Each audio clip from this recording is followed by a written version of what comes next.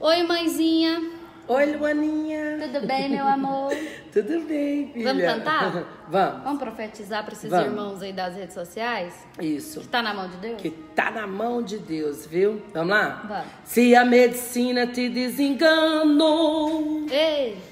a justiça disse não ter solução. Sua vida parece caso encerrado.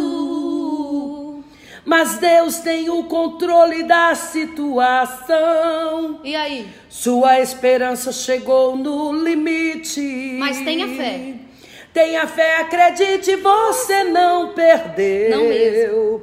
A, A medicina engana e a justiça falha. Deus está contigo em meio a esta batalha. A vitória é certa, Deus não te esqueceu.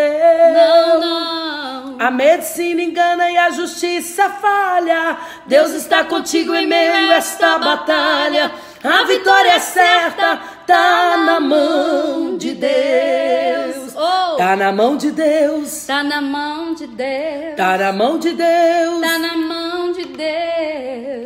Se a promessa não cumpriu, creia, tenha fé, tá na mão de Deus. A sua família tá na mão de Deus.